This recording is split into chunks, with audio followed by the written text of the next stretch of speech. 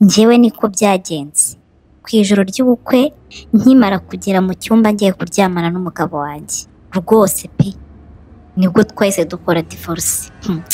wakibaza uti gute? Ubundi ibi byose ahantu byahereye kugira ngo ntandukane n'umugabo wanjye muri icyo gihe. Ubundi intandaro ya byose byatangiye nkirangiza segonderi. Ndabyibuka nkirangiza segonderi hari umuhungu twakundanaga nyine nkiga. Nawe yigaga ku kigo nigagaho. Uwo muhungu umva naramukundaga cyane pe. Twarakomeje rero turakundana kuva nkirangiza kwiga numvaga ari uzambera umugabo. Gusa tukirangiza amashuri ntabwo yigeze abona akazi. Mm, kandi nanjye ni uko sinigeze mbona akazi twaradepoje ahantu hose nyine ni kwa kundi ibintu byanga. Gusa njye nahise ntangira gufasha mama gucuruza nyine muri kantine yo mu rugo. Noneho muri icyo gihe hakaba hari undi musore w'umumotari wakundaga kuza buri gitondo kuhanywera icyayi akarya capati. Nyine urabizi ko akunda abamotari baba bagiye kujya mu kazi mu gitondo. Uwo musore buri gitondo yarazaga. Ubundi akaba ari njye umwakira. Ku buryo n'igihe yazaga yahasanga mama akamubwira uti ndashaka wa mukobwa wawe. Aba ari we uza kunyakira. Gusa yari umusore mwiza mwiza pe. Ku buryo umva mu gihe cy'ukwezi kumwe gusa ntangiye gukora muri iyo kantine ya mama. Uwo musore twahise tuba inshuti bikabije. Tumva tuba inshuti cyane noneho urumva yajya kunyishyura uriya abamotari bagira amafaranga. Yaba agiye nko kwishyura ibihumbi bibiri. Akaba amaye ibihumbi bine akaba amaye ibihumbi bitanu. Nyine ngo ni tipu twaragiye tuba inshuti bikabije birangira. Umusore ari koca arambwira uti njyewe naragukunze. Biza kurangira rero dukundanye rwose pe nanjye nanze kumuhakanira. Bya bindi wavuga uti ubagarira yose ntuzizera izizera n'izi- n'izizarumba. Ubwo oh, wibuke ariko hari undi musore twakundanaga nawe nyine twiganaga gusa yari umushomeri pe. Ku buryo ninjye wamuguriraga amayinite yo kugira tubone uko tuvugana. Iyo yabaga afite nk'urugendo ntiyatinyaga kumbwira uti ese wampaye igihumbi ko nabuze amafaranga ya moto? Kuko njyewe nyine nabaga nayakuye muri kantine yo kwa mama cyangwa se uwo musore w'umumotari ari we wayampaye. Kuko yajyaga ampa ku mafaranga pe. Mu by'ukuri mvugishije ukuri nakoze amakosa kuko natangiye gu- gutendeka abo basore bombi. Mm. kandi bose numvaga mbakunze pe nkabura amahitamo. Kubera yuko impamvu naburaga amahitamo wowe umumotari yari afite gahunda. Afite amafaranga ye. Moto yari iye. Azi no kuganira. Nyine yari umuntu uri shapu ku buryo twabaga turi kumwe yaranganirizaga nkumva ndishimye nkumva sinshaka yuko anagenda. Ikindi yashakaga kubaka. Kuko twajyaga tubaganira akambwira uti mfite gahunda wanyemerera ukambera umugore? Rwose pe. Bigatuma rero mbura amahitamo kuko nararebaga nkabona ni we ufite gahunda nanone ariko nkabona wundi twakundanye igihe kinini tuziranye bihagije nanone nkumva ni we nifuzaga mu buzima bwanjye. Ariko nkabona we nta gahunda. Mbese mbura amahitamo. Urumva? Mbese urumva ko naje kubura amahitamo pe? Y'uwo navuga uti uyu ni we nzabera umugore. Ndakomeza ndabatendeka. Urumva? Hanyuma nyuma y'ibyo rero yo kubura amahitamo irindi kosa sasa nakoraga rikomeye ni uko naryamanaga n'abo basore bose. Yaba uw'umumotari twahuriye muri kantine yaba n'uwo musore twiganye nakundaga cyane kuko urumva iyo uwo nguwo umumotari yampamagaraga urugero akambwira uti sheri ndagukumbuye waje ukansura? Nararebaga nkavuga se umusore nk'uyu ufite gahunda namwima gute? Mbese nkabura uko mwima kuko numvaga nanamwiyumvamo nkamuha. Ariko ejo nanone wa musore twiganye yampamagara ankumbuye. Nkumva nanone nawe kumuhakanira sinabishobora. Cyane ko nanjye numvaga nyine mbishaka mukunze mbese wumve ngo uyu munsi nkaryamana n'umwe ejo nkaryamana n'undi. Nuko bombi turagumana. Rero aho ngaho byabaye ikibazo gikomeye cyane kuko ubwo naje gutwita bose kandi twararyamanye. Nayobewe umuntu wanteye inda. Urumva? Naje gutwita kandi bose twararyamanye yaba uwo musore w'umumotari mubwira yuko ntwite ku giti cye ndetse yaba n'uwo mushari wanjye twiganye nawe mubwira yuko ntwite ku giti cye kuko nta n'umwe wari uzi yuko mutendeka. Noneho byatumye buri umwe yiyumvisha yuko umwana ntwite ari uwe. Urumva? Ibyo rero byaranshanze ubwo nendaga kubyara mbona umumotari atangiye kugura imyenda y'umwana yari no kunshyiraho puresha ngo dusezerane nibura mu murenge noneho nta wundi twiganye nawe. Abibona ko ndi hafi kubyara nawe mbona atangiye gushakisha uko ashoboye. Ejo nkabona atangiye kumpa amafaranga make uti hano genda uguremo utwenda tw'umwana. Byaranshanze ndavuga uti ibi bintu bizavamo ikibazo gikomeye. Ndavuga uti reka mbabwize ukuri bitaragera kure. Buri umwe mubwira yuko ntwite kandi hari undi twaryamanaga. N'undi mubwira yuko ntwite ariko hari undi twaryamanaga. Buri umwe mubwira yuko ntazi neza niba ari papa w'umwana wanjye. Bose mbabwiza ukuri. Ariko icyo kintu cyabaye cyatumye bose banyanga bose bamvaho. Yaba uwo mumotari yarambwiye uti ubwo nimba hari undi waryamanaga nawe rero? Iyo nda ntabwo ari iyanjye. Uti nzaba mbimenya nyuma umwana yaravutse. Yaba uwo twiganye nawe nawe yarambwiye uti oke ubwo ko dutegereza umwana avuke. Habe n'umwe wigeze wongera kumpa igiceri cy'ijana. Kuva icyo gihe natangiye kwipapa ndi mama umva njya no kubyara. Nabuze n'uwo mbaza izina ry'umwana. Ndavuga uti reka ngiye mwitira izina ryanjye. Bose rero nta n'umwe wari ukinyitayeho. Kandi kuko nanjye sinabarenganye. Nanjye ubwanjye sinari nzi ngo ise w'umwana ninde ibyo rero byarabaye. Abahungu bose bamvaho. Urumva umwana arakura arinda agira imyaka ibiri. Nta n'umwe umvugisha n'uwo mpamagaye ankupa. Mbese baranyihindutse ku buryo nta n'umwe wari ugikeneye no kumenya n'uwo mwana. Ubwo muri icyo gihe ariko umwana wanjye amaze kugira imyaka ibiri naje kubona akazi ko kwakira abantu muri hoteli. Noneho nza kuhahurira n'undi musore w'umudiyasipora ari nawe wabaye umugabo wanjye uwo munsi nyine bucya nahukana. Uko byagenze rero nari maze kwiyakira ndikorera umwana wanjye njyenyine gusa ntangiye kubona udufaranga aho nari ntangiye kuba umuseriveri wo muri hoteli kuko narangiraga abantu ibyumba nkabashyira ibyo bakeneye. Nuko uwo mu diaspora rero we yaje ari nka marayika ku buzima bwanjye. Kuko yarankunze. Urumva ngo mwakira neza arambwira uti ndi umukobwa mwiza. Umve ngo yari yaraje inaha aje gusura umuryango we. Ariko tugihora.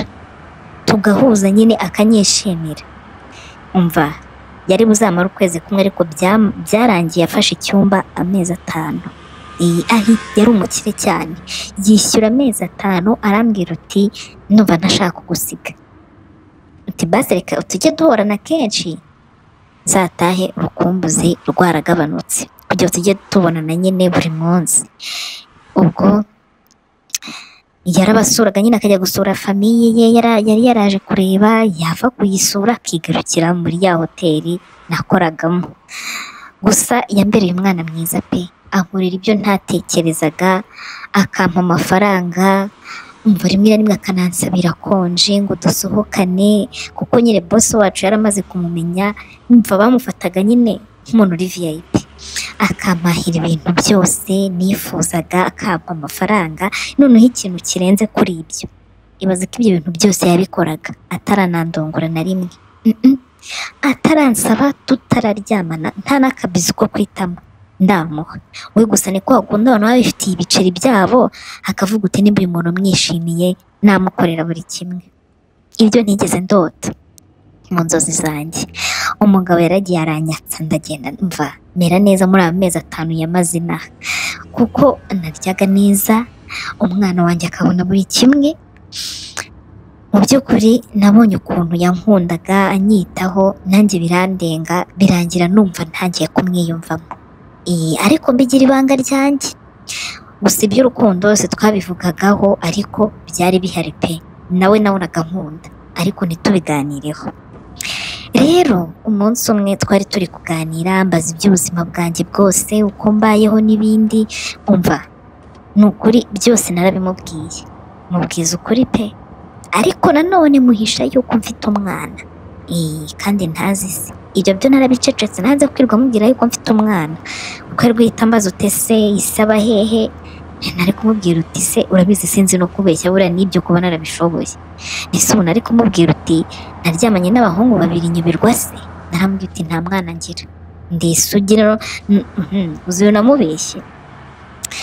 Gusa iryo kosa nararikoze ariko sinari nzi ko ari ryo rizankoraho ryo kumuhisha icyo kintu. Ubwo rero sasa mu diaspora nanjye yambwiye ibye byose gusa we arenzaho ambwira yuko kandi ankunda. Arambwira ati kandi nyuma yo kugukunda ndifuza yuko tubana ndetse tukabana byihuse nkazasubira hanze njyanye n'umugore wanjye. Mm. umutima ndatekereza ndetse kandi ngiye kujya hanze? Numva nyine ibintu bi- birantunguye bya hatari. Iryo jambo ryarantunguye rinantera ubwoba. Gusa umuhungu uwo mu diaspora igihe twaganiraga ibyo bintu yari yateguye. Afite n'impeta ya fiyansaye arambwira ati ibintu ngusabye wabyemera? Rero nkibona iyo mpeta nta yandi mahitamo nari mfite. Kuko icya mbere nanjye nari maze iminsi mwiyumvamo ikindi nari mbizi yuko afite amafaranga. Mbese navuze uti uyu muntu ntabwo nakikura amata ku munwa. Nahise mbyemera mbese byemera ariko atari ukubera ngo ari umukire. Nabyemeye kuko numvaga koko ntangiye kumwiyumvamo kubera uburyo nawe yanyetagaho. Gusa nasigaranye ikibazo cy'uko namubeshye yuko ntafite umwana. Ikindi namubeshye yuko ndi isugi yarambajije ute se? Nyine byose yarabimbajije ambwira yuko nkiri isugi biranamutungura. Ubwo narabipanze ikintu napanze byahise bituma mu mutwe wanjye mpanga ukuntu duhita turyamana. Ndavuga uti "Ka nshaka ukuntu uyu mugabo duhita turyamana uyu munsi yantereye ivi ndavuga uti ndamunywesha inzoga mu mutima nyine ndavuga uti uyu mugabo ngiye kumunywesha inzoga asinde dusangire namara gusinda. Nshaka ukuntu turyamana. Narabipanze nanga gutaha. Gihe twari turi kumwe kuri hoteli ku kazi. Nanga gutaha ndavuga uti munsi ndumva nishimye ndumva nshaka kukuraza. Uti nta kibazo. Noneho dutangira kunywa amayoga. Ariko nkajya mujijisha nkigira nkaho njye ndi kunywa ariko nkajya dukeya. Umva nashakaga we asinde turyamane yasinze ku buryo ejo nzamubwira uti waransugiye akabyemera. Umusore twarasangiye noneho wumve ngo yaragutomeraga. Byahatari. Umva twarakomeje turasangira numvaga nyine iby'umwana byo numvaga nzabihisha bigakunda. Cyane ko n'ubundi umwana wanjye se yabanaga na mama kandi yari azi ko mama wanjye n'ubundi ari we mama we. Kwa kundi umwana wakuriye kwa nyirakuru biba bimeze. Mbese umwana wanjye yari azi ngo ni nk'umuvandimwe we. Rero ibyo mwana ntabwo numvaga ari ikibazo gikomeye ahubwo cyo gushaka ukuntu mubwiza ukuri yuko ntari isugi. Ubwo mu diaspora twanyweye inzoga nyinshi cyane umva yaranagotomeraga ariko nyuma rero mbona atangiye gusinda atangiye gufena avuga amagambo menshi adahura mbonye yatangiye gusinda. Nibwo nafunze icyumba nshyiramo urufunguzo ndangije nkuramo agakanzu nari nambaye nari nambaye agakanzu k'iniforume n'ubundi twambaraga hariya kuri hoteli nkakuramo umugabo ari aho. Maze kugakuramo nkuramo imyenda y'imbere nyine nkuramo isutiye nshyira hariya. Nkuramo ikariso nshyira hariya. Maze ndaza umuhungu ndamwiyegereza nshaka nyine uburyo turyamana. Ndaza ndatangira ndamusoma ndamusoma ku matama musomye ku munwa mbona abaye nk'uwikanze asa nk'ugaruye ubwenge. Gusa nyine yabaye nk'ugaruye ubwenge akimbona abonye nambaye ubusa buri buri yahise asa nk'uzutse umva ahita abasoba. Iyi nzoga zose mbona zise zimushiramo buriya hari abantu baba bagira amahame shaho zahise zimushiramo ahita asinduka arambwira uti oya ntago nakora aya mahano yo kuryamana n'umukobwa tutari twakora ubukwe. Arambwira uti hoya ntabwo nshaka kugusujyura tutari twakora ubukwe. Reka nzabikore twabanye. Mm. ngaho ndavuga mana? Uyu musore ko nifuza yuko anca mu myanya y'intoki ndam- ndamushuka gute kugira ngo turyamane kandi yasinze? Byaranshanze rero umuhungu ndamwinginga. Ndamwinginga ndamubwira ati wambabariye ko numva nagukunze numva ngufitiye ifemba ambera ibamba arambwira uti hoya. Nabuze icyo nkora mpita ndyama ndasinzira. Ibaze yuko twararanye ku buriri bumwe. Na- naraye gutyo nambaye ubusa. Umuhungu yanga no kumfumbata buracya. Ibyo byarabaye rero haza undi munsi. Nyuma nyine yashemo nk'iminsi nk'ibiri nabwo ngerageza yuko twaryamana umusore ambera ibamba aranyima pe. Aranyima ndabibona yuko icyaba cyose ataryamana n'umukobwa batarabana. Ndavuga utoka ibi reka mbyakire nzahebera urwaje reka mwihorere. Twarakomeje rero turakundana urumva dutegereza yuko umunsi w'ubukwe ugera. Umunsi w'ubukwe sasa warageze. Nuwo dutaha mu nzu nziza twari twakodesheje nyine. Twavuze ko turi buyimaremo amezi abiri nibura tugahita twegera hanze. Umusore ntaramenya yuko mfite umwana ntaramenya yuko ntari n'isugi. Umunsi w'ubukwe rero iryo joro ryarabaye ni bwo umugabo wanjye n'uwo yanyisabiye yuko turyamana. Gusa nari mfite ubwoba. Pe sinakubeshya nari mfite ubwoba mvuga uti se uyu mugabo ko nabonye ari umuntu ugira amahame ye agenderaho? Nabona ko ntari isugi. Nk'uko nabimubeshye. Ntari buhite anyirukana cyangwa tugashwana. Gusa nihagararaho. Mm. nihagararaho ubwo tumaze kugera mu cyumba rero umugabo yarampobeye arambwira uti ndishimye kubw'uyu munsi. Abanza ambwira amagambo meza. Ni umunsi w'igitangaza. Sinari nzi yuko n'inzina bizarangira mpabonye umugore nkawe nkunda ariko ibintu bigenze neza. Uwo mwanya yambwiye yuko ankunda kandi ati- atiteguye kuzandekura. Umugabo aratangira aransoma. Ariko mu mutima numva umutima uri gutera. Umugabo twaratangiye turasomana. Turasomana anijya rwose ni ubwa mbere twari dusomanye. Ankuramo imyenda buke noneho buke ubona ari romantike anyikuriramo imyenda abitwaza buke buke. Mva amaze kunkuramo imyenda byose anaga hariya aratangira arantegura. Ariko umutima uri kundya arantegura umugabo aratangira asomagura bene hano gutya mu gatuza ubwo niko ambwiraga amagambo meza ambwira ukuntu akunda umubiri wanjye ambwira ukuntu yari afite amatsiko y'umubiri wanjye none harinagamo arambwira uti noneho ni igitangaza kuba ngiye kwipfundurira umugore wanjye. Ari njye muntu wa mbere bagiye kuryamana. Uti ndumva ari ishema rikomeye. Mu buzima ni bwo bwa mbere. Mpuye n'umukobwa w'isugi. Ndumva ari ishema rikomeye nubwo bambwiye ko bigora ariko umugore wisuguriye ewana ntabwo yapfa kuguca inyuma. Uko abivuga rero nkumva yabitinzeho nkumva biri kuntera ubwoba. Mve ngo byatumaga ntanashyukwa. Umve ngo yari ari kuntegura ari kunsoma asoma bene hano gutya mu gatuza agasoma ku mabere ariko ntabwo nabaga ndi gushyukwa. Ufite ubwoba gutyo se byakunda? Wapi?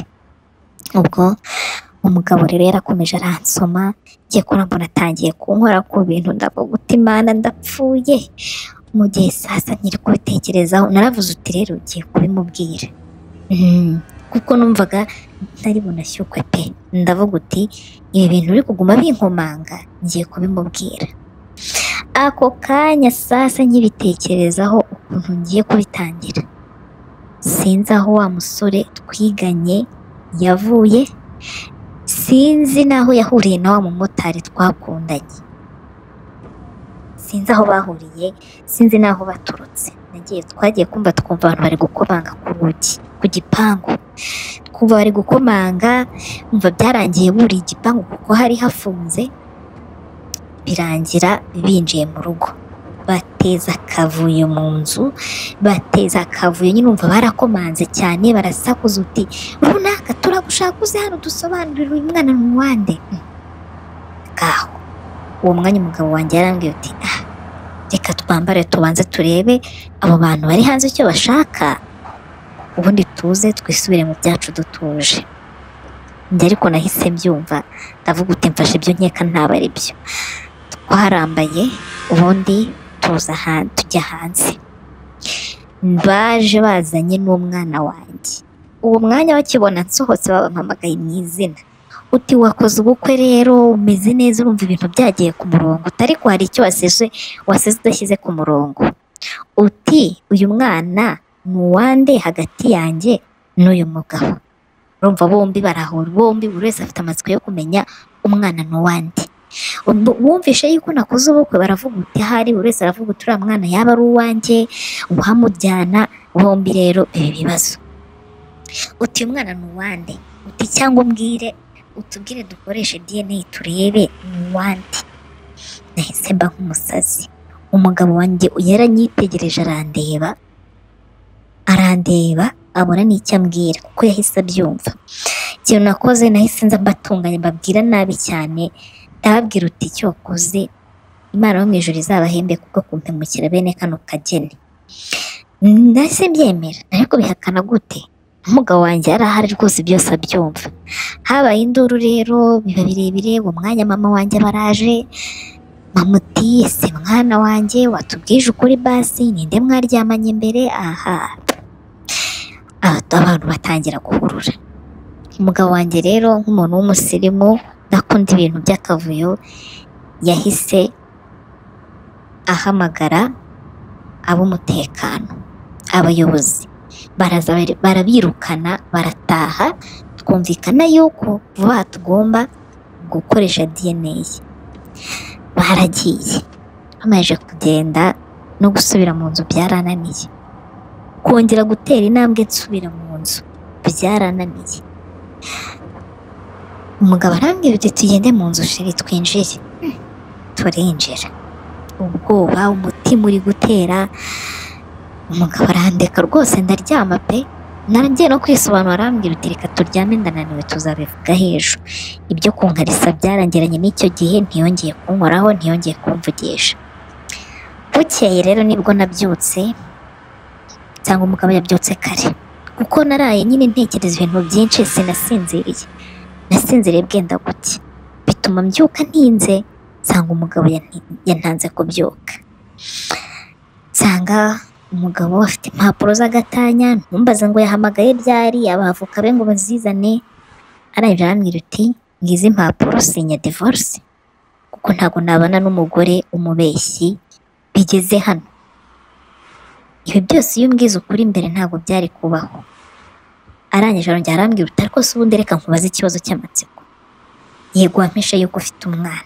Ibyo si n'ikibazo hanyuma aba ari abagabo babiri bose waryamanaga nabo icyarimwe bimeze bite? Mbura icyo mubwira. Kuko yari umugabo nyine utari umusambanyi ntabwo yumvaga ukuntu abagabo babiri bose bashobora kuza bavuga uti umwana ni uwande. Arambwira uti hano hari miliyoni eshanu. Kashi akira aya mafaranga. Uti genda nonaha banza ufate ibintu byawe. Numara gusinya ugende ujye gupimisha DNA umenye se w'umwana wawe. Muri bari abagabo babiri asigara ushake ukurengera mu mategeko ngo nihagira n'udusigara ngo nzaturereshe ibinyoma byanjye. Aranyorera narasebye birancanga ubu niyo mpamvu nyine ubona nicaye mu rugo.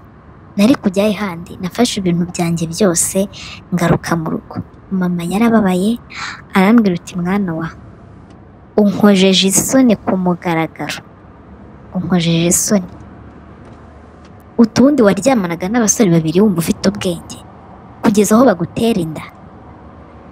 Arambwira uti nanjye ndi uriya mugabo nta kindi ntari gukora. Utireba ukuntu wakoze ubukwe bwiza abantu bose bakishima nanjye nkumva ntewe ishema nawe ariko reba ibyisi urenzaho. Hamwe uticara nyine hano mu rugo. Ibaze gutandukana n'umugabo mutaranakora urukundo mutaranaryamana. Narababaye. Ntabwo wabyumva narasinye nyine. Ubwo rero niyo mpamvu ubona nibereye mu rugo nabigira nte? Niba nzongera kubona umugabo simbizi. Mbese aya makosa sinzi ukuntu nabikubwira. Byanshanze pe.